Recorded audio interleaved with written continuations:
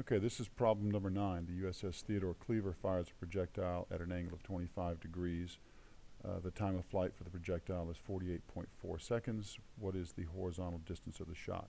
So the approach on this is to find the vertical velocity uh, as it comes out of the uh, cannon.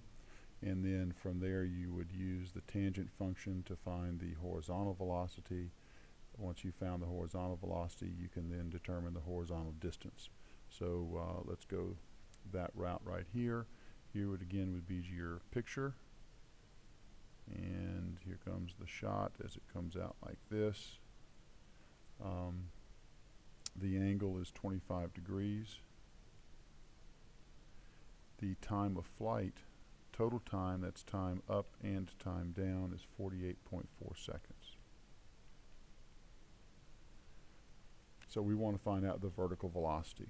Well, the vertical, and we can divide this in half because of symmetry. So we're going to need five columns, five columns and two rows. So let's get that done.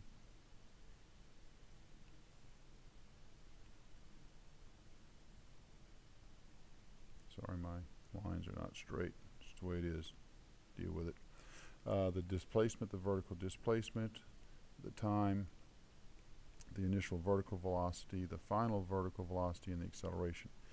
Uh, the time is not going to be 48.4, it's going to be half of that. It's going to be 24.2 seconds because it's only the time that it takes to go from the beginning to the very top.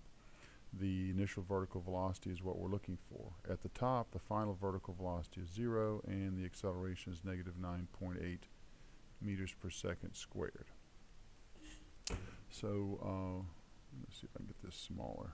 I guess I can get to 2. so, from there we'll take a look at our equations. Of course, the uh, displacement is going to be non-participatory and we can use the final velocity is equal to the initial velocity plus at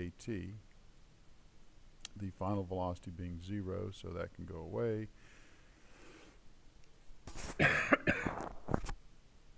the uh, initial vertical velocity is equal to negative at and putting those values in you get initial vertical velocity of negative times negative 9.8 meters per second squared times our time of 24.2 seconds and that gives us a vertical velocity of 237 meters per second. So that's how fast it's leaving and coming out of the cannon vertically going up.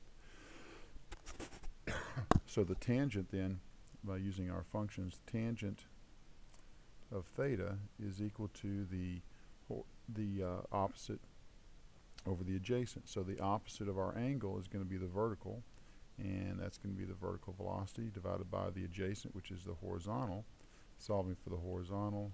Horizontal then is equal to the uh, vertical velocity divided by the tangent of theta. Calculate that. Horizontal velocity is 237 meters per second divided by the tangent of 25 degrees.